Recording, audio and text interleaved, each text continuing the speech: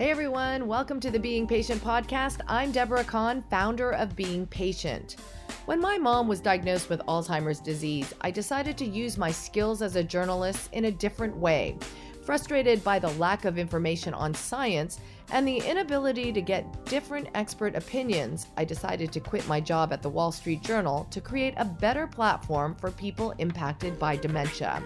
We are a community where news and information is created by our team of journalists. We ask tough questions and we simplify the science so that anyone can understand. We don't only cover disease, but delve into the latest research on what it takes to keep our brains healthy. We invite the experts and ask your questions. Here's today's podcast. I hope you enjoy it. Hi, everyone. Welcome to Being Patient Brain Talks. I'm Deborah Kahn, founder of Being Patient. Um, as many of you know, as much as we cover the research behind Alzheimer's and other dementias, we also delve into the topic of brain health. So we thought today we would focus on fasting. Um, of course, a lot of you have heard about or practice fasting. It's gotten very popular today. So we thought we would revisit the topic um, with Professor Valter Longo. He is at USC. He is the founder of the fasting mimicking diet Prolon. Valter, very good to see you, and thanks so much for joining us again. Well, thank you for having me. Okay, so you know, since the last time we spoke, I, uh, you know, decided why not? I'm going to practice a couple of um, uh, prolons uh, for five days. For those of you who don't know fasting mimicking is you're you're following a strict program where you're having um, few calories enough to trick your body into thinking that it's fasting. So i decided to try it. I've done it twice now. Um, and you know i found it really hard but to be, if I'm very honest, I felt uh, really good at the end, you know, when I, when it was hard to get through the five days, but then I think, wow, I feel really great. I had a lot of energy um, and just felt like I really had a reset. What's happening, Valter? I'm going to back up for those people who aren't that familiar with fasting. What's happening inside our bodies to make us really actually feel better by depriving ourselves of food for a limited period of time? Yeah. So so we come from a history of uh, uh, having lots of food in the summer or whenever that was the food was available and becoming insulin resistant right? So the body becomes resistant to insulin and accumulates fat. And it's doing that because and this is still happens for example in the emperor penguins in the south pole right? So they they become large and potentially obese. And then they eventually don't eat for a couple months and uh, yeah, so then uh, um, the, those couple months uh, that we used to have now never come, and um, and so yeah, so then what happens in the fasting uh, uh, is that the body um, goes back to this winter mode, right? And so becomes insulin sensitive again. It's burning fat. Uh, uh, but also, we've we've done a lot of work, uh, in, particularly in mice, but also a lot of clinical trials now and and the the mouse work very clearly shows this uh, shrinking um, elimination of lots of damaged components during the starvation period let's say but then the stem cells and other programs go to work and when the food comes back around it's really remarkable uh, regenerative program that has the job of bringing the organs uh, and systems back to the ideal condition. So in these uh, uh, fasting refeeding cycles, we see lots of evidence for fairly sophisticated embryonic-like program that fixes uh, lots of things that, that, that are, are, wrong with the system. Yeah.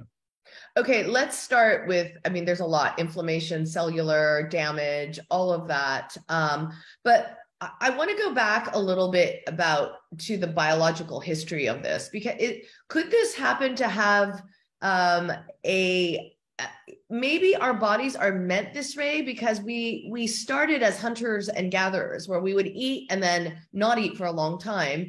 Is there any historical association that we know of that we're just as human beings not programmed to eat all the time and like actually in spurts is is better for us?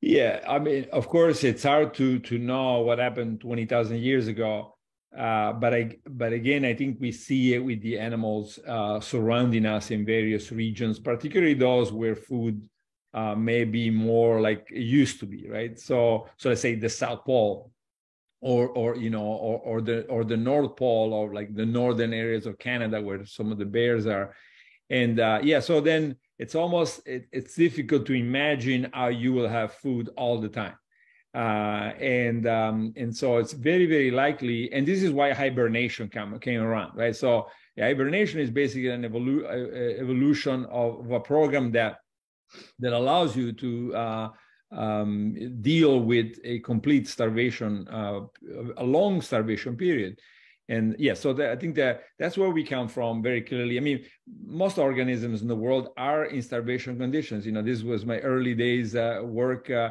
with bacteria and yeast and and they're called stationary phase right? And or sporulation state. So most microorganisms uh, which uh, represent most organisms in the world uh, are starving most of the time. And once in a while they get the food they grow very rapidly and then they go back to starving potentially for years right? So so I think that's um, that's that's also a very different version of that, but it's also our history. So when you fast, there is something that's called is it um autophagy? Is that how I say it? Autophagy that autophagy. goes yeah that goes on on the cellular level. Tell us, I mean that's kind of cleaning out things that don't need to be there in and rebalancing. Tell us a little bit on the cellular level what's happening when we deprive ourselves uh, of food for a specific amount of time? Yeah, so so there are lots of processes. Autophagy is is uh, one of them, um, and uh, and autophagy happens at the cellular level, and so the cell basically um, goes through a shrinking process itself, right? So the organism shrinks, and lots of things happen, but but at the cell level, uh, the, the cell shrinks and and um, and basically eats uh, its own components. So some of the organelles are broken down, lots of the proteins and and uh, um, and other uh, macromolecules are broken down. And the and of course the purpose is to use them for fuel, uh, but also to have less. Uh, uh, to have less mass to worry about, right? So if a, if a cell is large, has to consume more energy. So it eats itself and it becomes smaller. Um, so that now you, you have, uh, uh, you know, you you also consume less fuel, um, and uh, and and both of them are important to uh, to surpass this uh, fasting period. So, um, with your your research, your latest research on disease prevention, and uh, especially in particular Alzheimer's disease, what is the link? Why is it like i know it's really on uh are, are you only really in the animal um like mouse studies um stage of of research or have you tested on humans yet?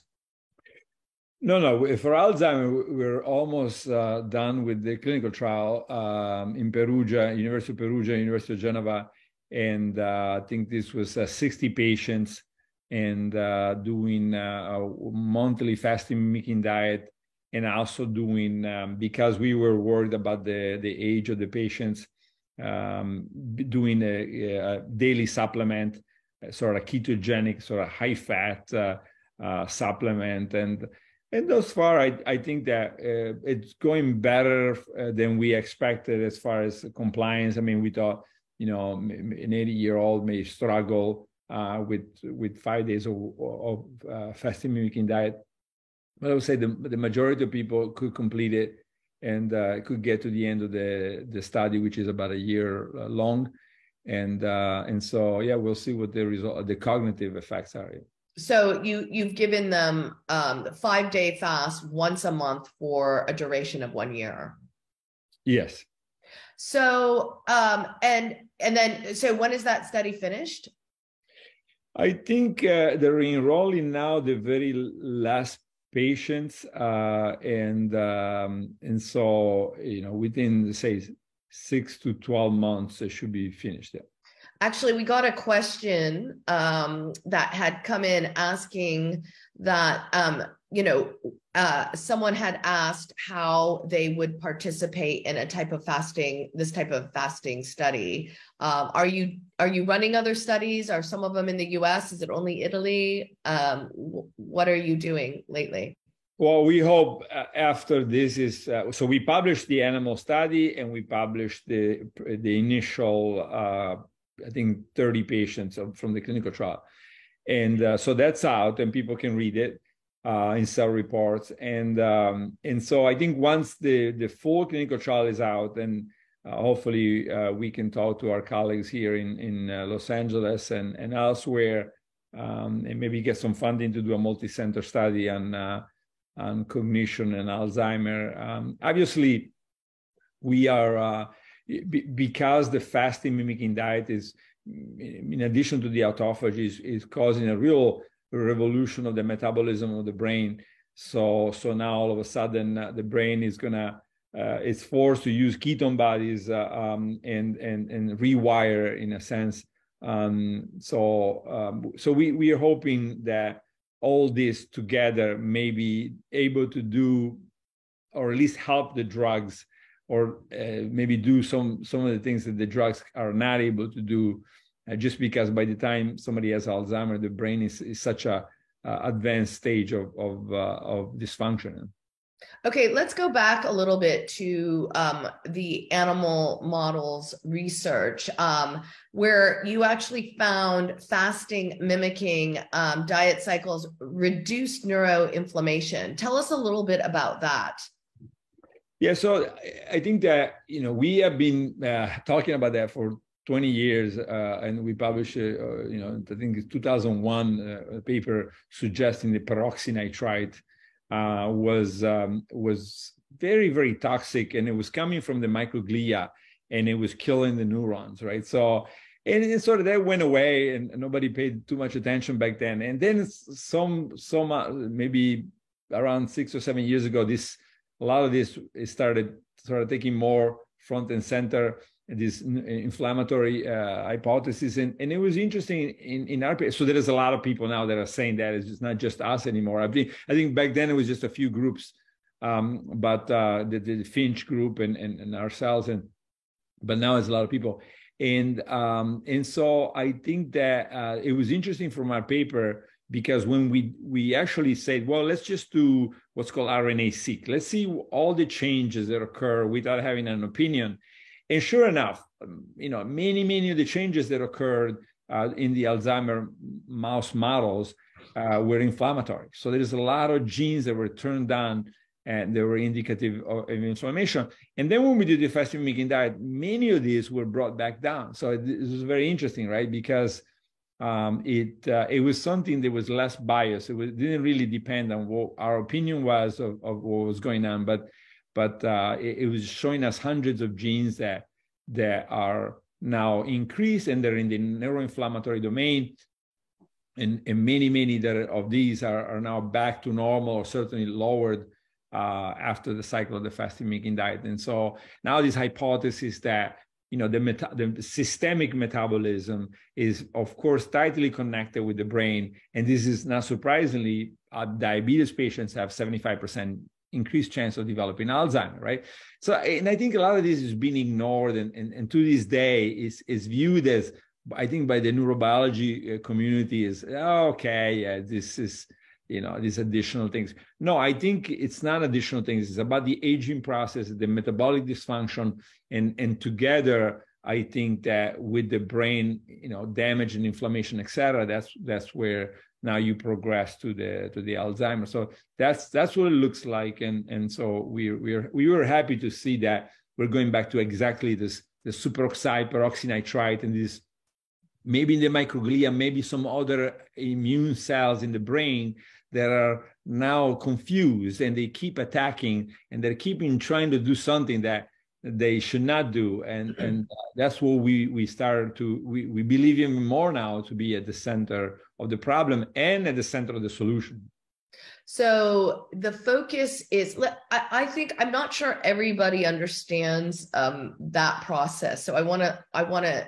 delve a little bit into it now there's two things going on one is depriving calories restricting calories um, actually forces our bodies into ketosis, right? Where we burn energy from fat. Is that fair to say with the fasting? It's not just the calories, it's the type of calories, right? So you want to have low sugar and you want to have low amino acids, right? Low protein, low amino acids, and then high fat. You can, you can have high calories and you can still, or relatively high calorie, and you can still get into a ketogenic mode.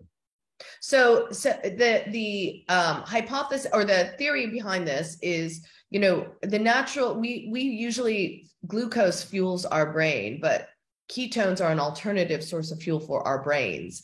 And so, um, would you say like uh, exchanging between those two systems is actually better for our brain health? Um, or should we seek to really be in ketosis for a longer state of time because that's better for our brain health? Or do we know? We don't know, but I think that um, if you look at every other system that we looked at so far, so we look at the pancreas, the liver, the gut, uh, and so I think you see these programs of shrinking and re-expansion that eventually become very sophisticated and able to fix the problem, right? It's almost like it's it's um, it's a program that was always there to understand how to put the organ back to where it was, right? And it makes sense, right? So you, you get wounded by by with a knife, you know, twenty thousand years ago. Uh, well, you know, you could die or you could survive, and if you survive, that uh, everything gets regenerated, right? Or most of it gets regenerated. So then the question is, well, if it knows how to regenerate all of that, uh, well, is it possible that the brain also um, how to, in at least partially, uh, reset, regenerate itself? So I think the, the, the ketone bodies become just a player in that message. We're starving. This is the moment to shrink. The brain doesn't really shrink like all other organs, right?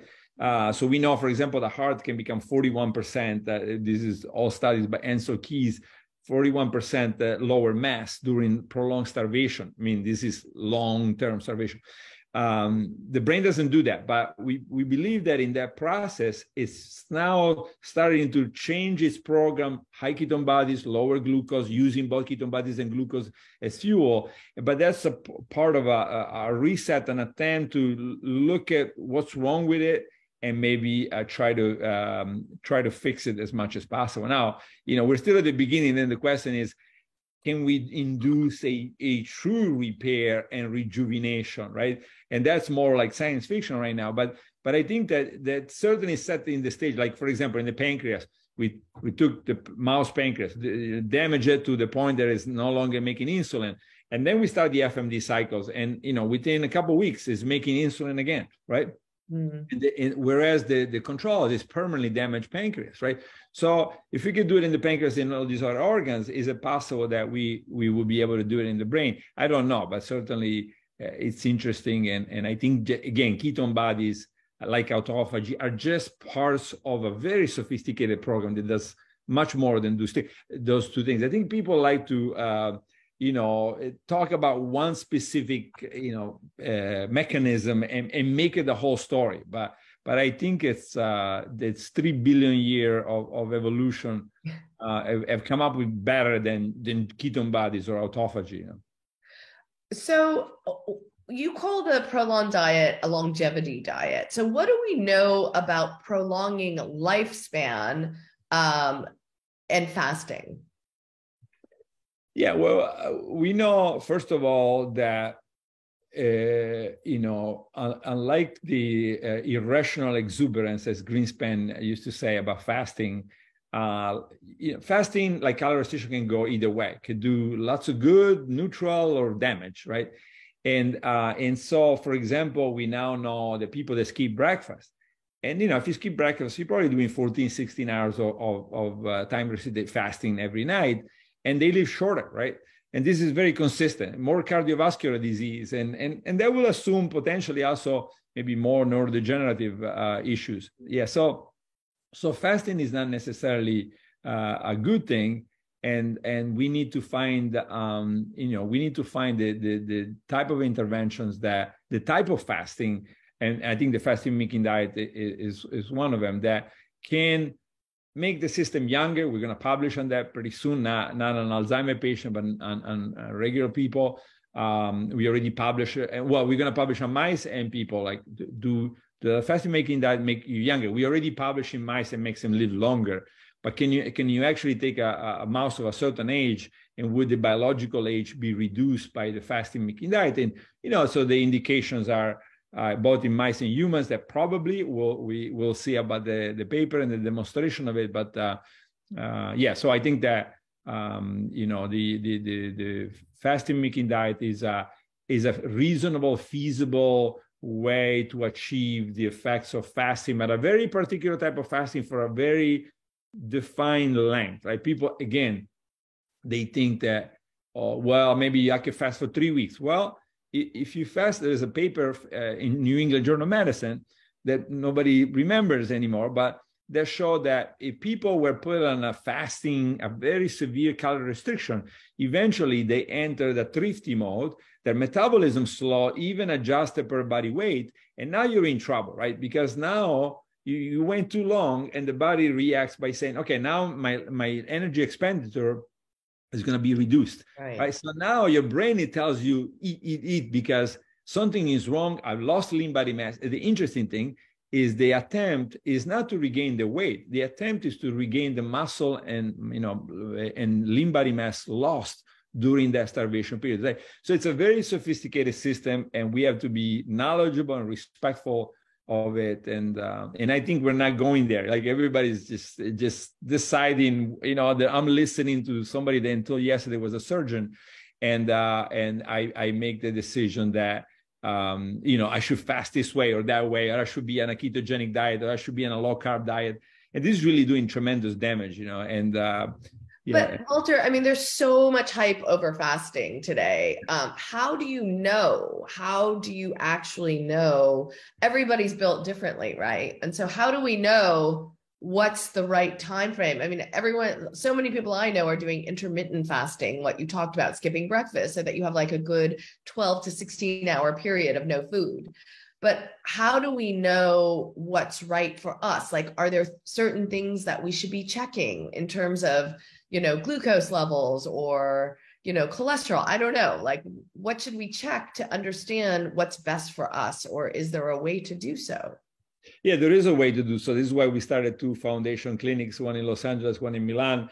And I we have a team that includes phds and includes physicians. And and you know they they work together. They they work with the universities. Uh, we do clinical trials right? For example we're starting a 500 people clinical trial in southern italy um, you know, randomized, and we we have another one uh, with all the patients that come in. Yeah, so these, you know. So you'd you, have to participate in a study. I was just look, thinking practicality, you know, practically speaking, is there something I could check every week? You know, something I could wear a monitor or something to know that, oh wow, this is my but, optimal. That's what I was saying. Yeah, I think that you know, if you need, if you had a disease, uh, you will go to a doctor, right? You will have that doctor follow you. So um, I guess my point is, yes, you can do lots of things. I wrote several books on it. You know, the the longevity diet is focused on that and uh, and so you can read that. Um, and uh, and I tried to write the book based on five pillars. So my point was, you know, let's not just focus on epidemiology. Uh, first of all, let's personalize. Uh, so yeah, if you if you're female and and you're 82 years old, uh, you're gonna do something very different than if you're a male and you're 19, right? So, uh, but also five pillars like you know clinical studies, epidemiology, basic research, centenarians. Like what did the centenarian used to do? So I think it's certainly not something that it should be explained in two minutes. And and then again, I think just like the doctor is not something you wouldn't want the, your your endocrinologist to tell you, oh well, let me give you a recipe for what you should do uh, to treat diabetes. It's the same way with nutrition and longevity, right? It's it's you need to be followed by uh, a, a, nutritionist, a registered dietitian uh, that can you know eh, see where you're at what you age you are, et cetera, et cetera, and then you know act and adjust, right? So yeah, I recommend people. It's a nonprofit uh, clinic in Los Angeles, uh, Create Cures uh, foundation clinic, uh, and um, you know be followed by them. And and, uh, and and I mean there are people out there. I mean I think maybe not too many that are as inexpensive as ours, but I think that.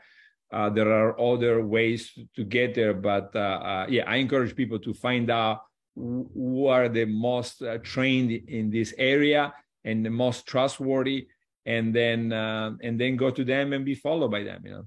So when you were t- referring to the uh, longevity study with mice and you said that the mice actually lived longer how what was the difference in lifespan?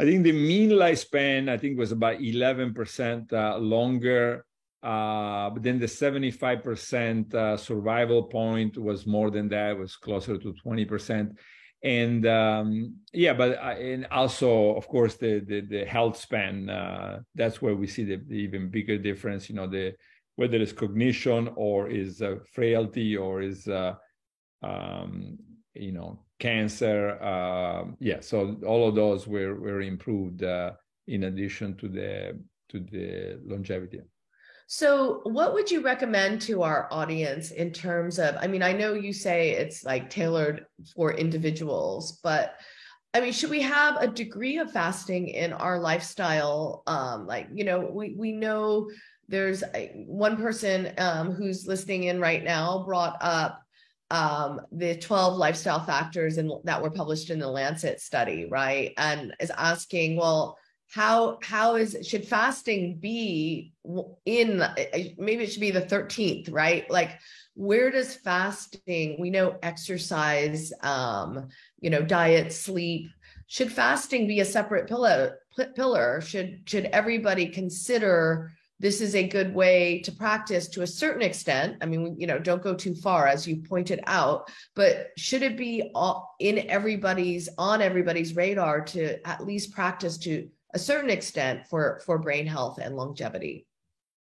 Yes absolutely. So and, and the number one should be 12 hours of fasting and 12 hours of feeding right? So so 8 a.m to 8 p.m eat within that time window or 9 to 9 or 10 to 10 doesn't matter as long as you keep it steady and you keep about three or four hours away from the sleep time right? So so that's one right? That uh, and uh, and of course you could go to 14 16 hours but for specific reason. For example, for cancer patient, we say 14 hours uh, until the five-year time, uh, cancer-free survival time.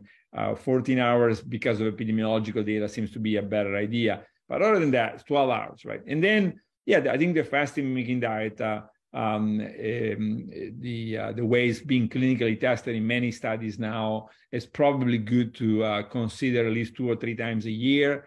Um, now, I will say that you know pretty soon I think that because again diabetes is such a risk factor for Alzheimer, and we uh, uh, Heidelberg University of Heidelberg has already published on, on one study on uh, um, on diabetes and uh, fasting mimicking diet work very well. There is several more uh, we published five years ago on 100 patients that um, did the fasting mimicking diet and certainly were um, lots of evidence for improvements uh, in cardiometabolic uh, risk factors.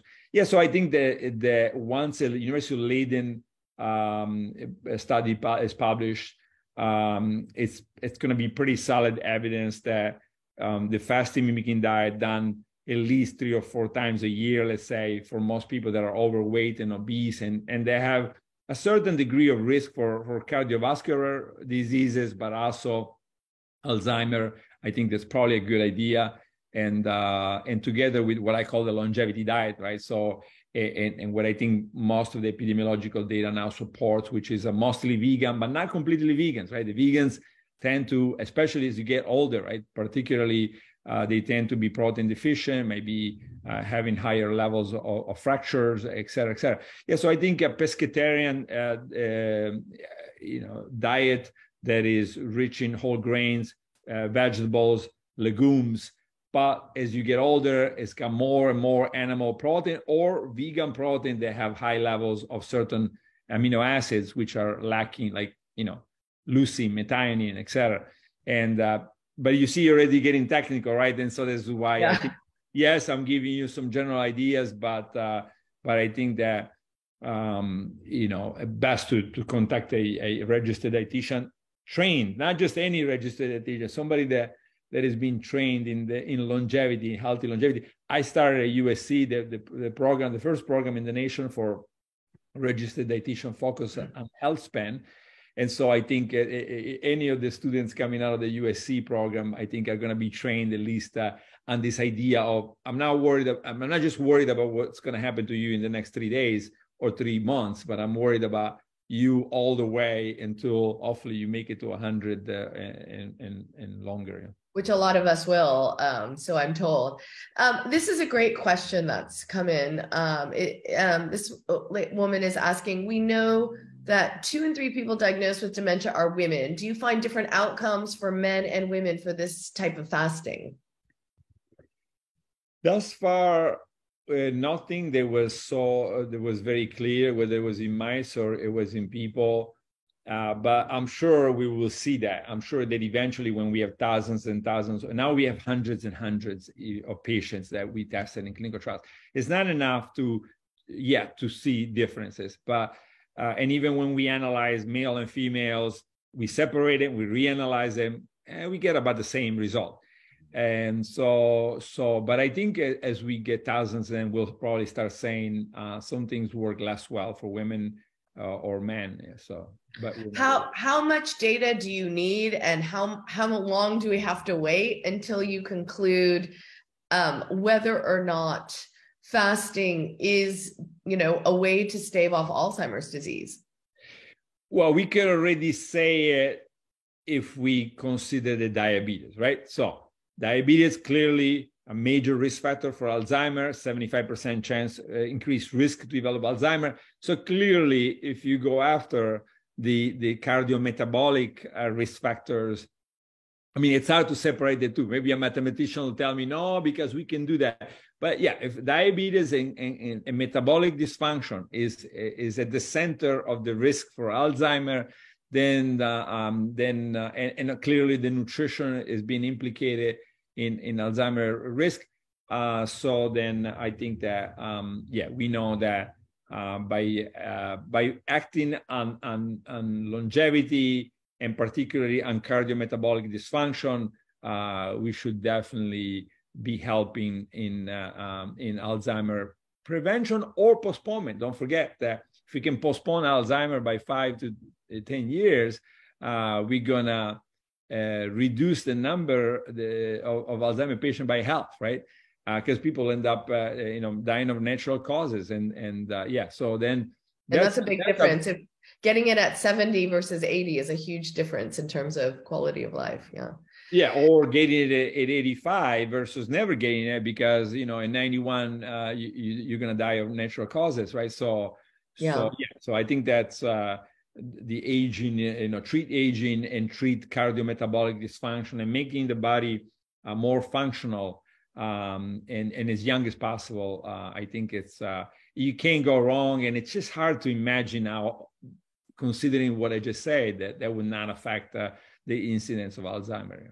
Okay, so for healthy people, a lot of us are healthy. We haven't been diagnosed. Um, we may have a family member um, who, ha- like myself, who has a mom with Alzheimer's disease.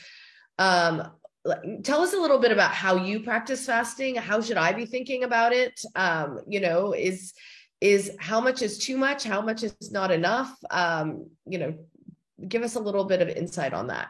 Yeah, so as I mentioned, so 12 hours, uh, uh, I think it's a very good uh, uh way to go.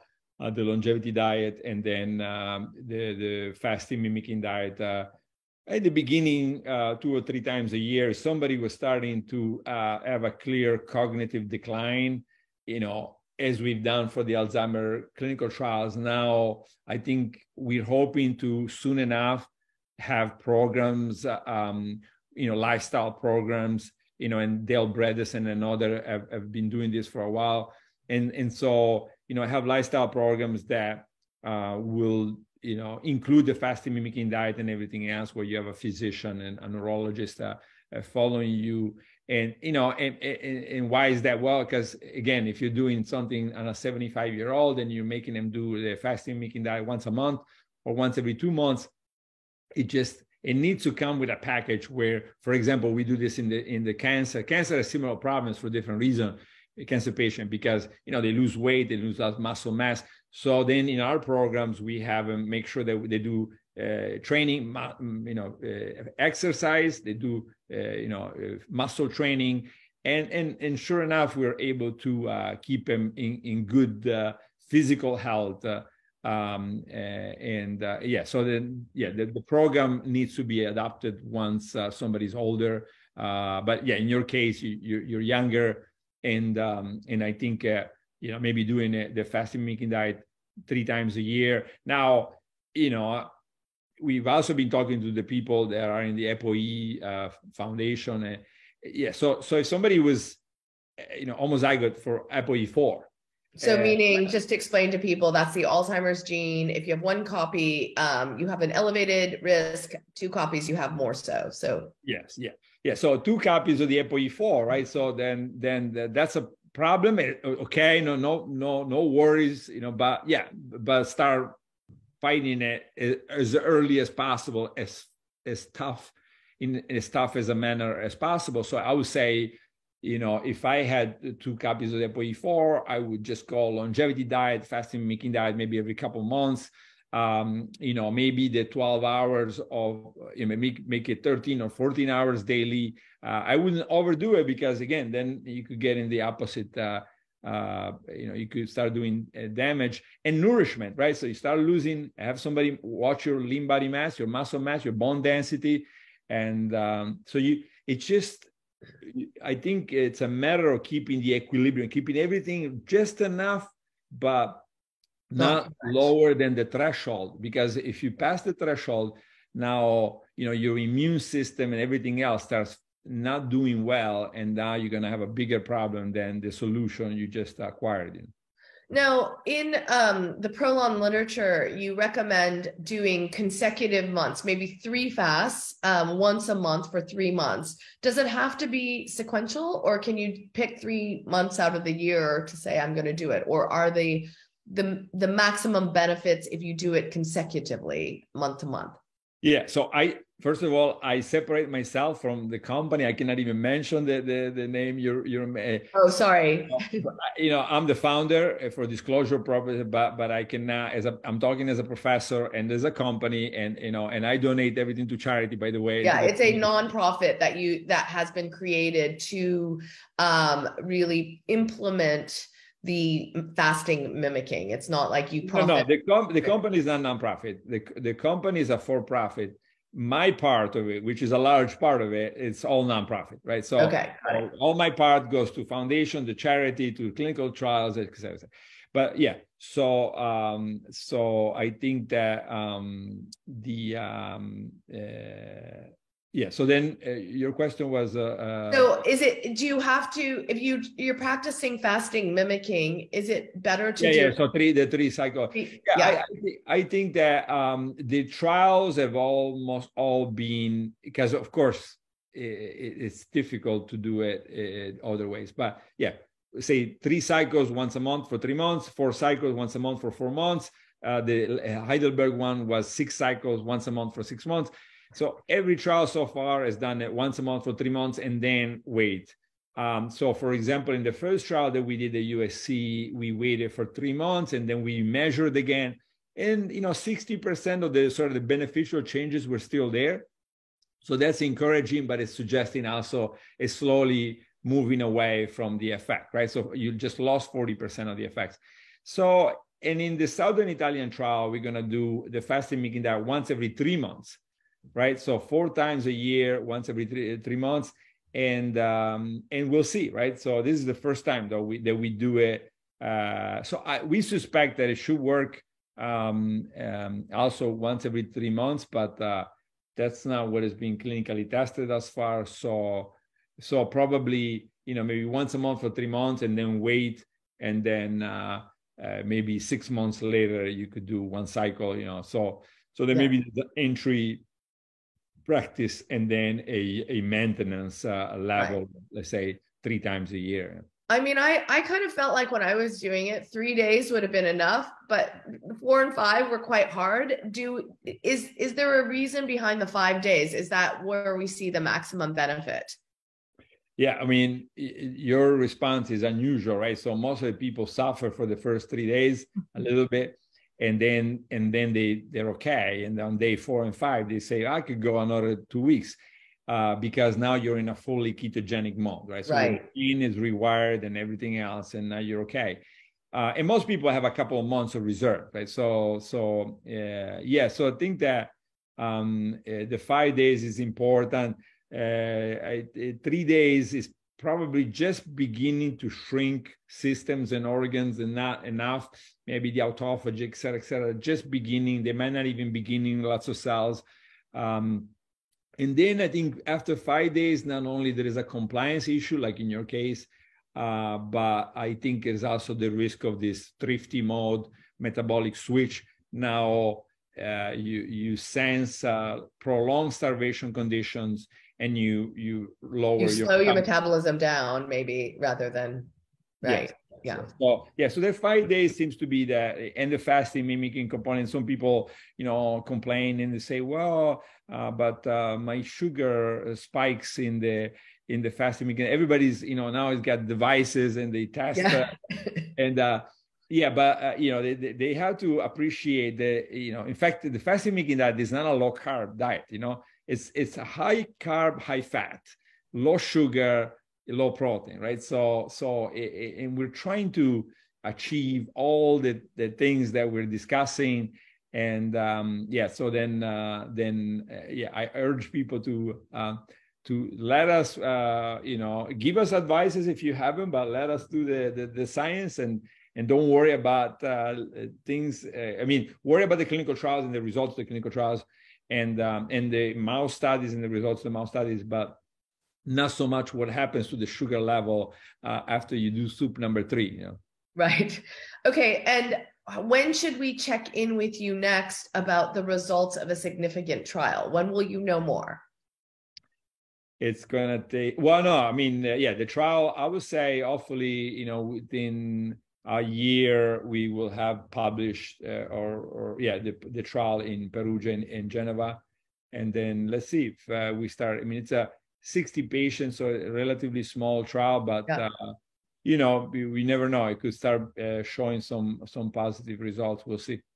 Great. Thank you so much, Valter Longo, um, for joining us and making the time. We're going to check in with you in a year uh, to, to see what you found um, with those results from Italy. Um, but thanks for joining us. Uh, we appreciate your time. And I know it's a topic a lot of us are really interested in. Thank you. Thank you. Okay, so if you missed any of that interview, uh, go to beingpatient.com. We always repost these interviews. Don't forget to sign up for our newsletter where you can see more. Thanks, everyone, for watching. Well, I hope you enjoyed today's podcast. For more information on upcoming interviews, don't forget to sign up for our newsletter at beingpatient.com. That's B E I N G P A T I E N T.com.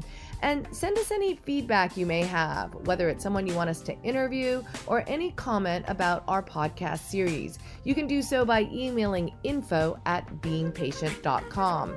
Thanks for listening, everyone. I'm Deborah Kan.